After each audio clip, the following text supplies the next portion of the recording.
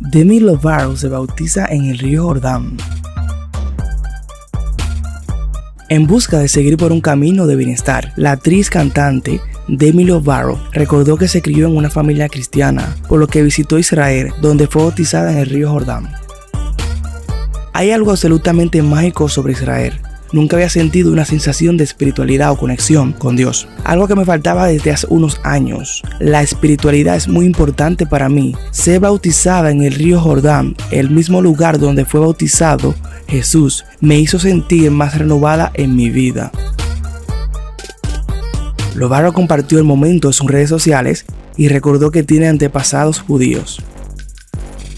Este viaje ha sido muy importante para mi bienestar, mi corazón y mi alma. Estoy agradecida por los recuerdos creados y la oportunidad de poder llenar el agujero del tamaño de Dios en mi corazón, dijo la cantante.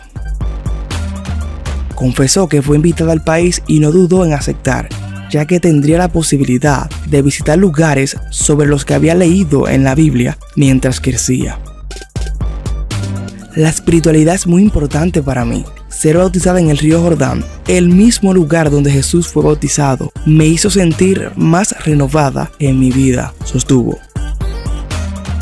La intérprete de Word también agradeció por la experiencia y la oportunidad de llenar un agujero del tamaño de Dios en su corazón. Gracias por invitarme, Israel, sentenció. Los fanáticos de la norteamericana no dejaron pasar la oportunidad para manifestar su alegría es bueno saber que estás bien. Dios es bueno. Una gran experiencia con Dios.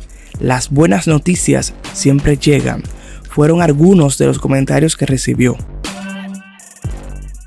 La publicación de Demi Lovato consta con más de un millón de likes por parte de todos sus fanáticos en Instagram.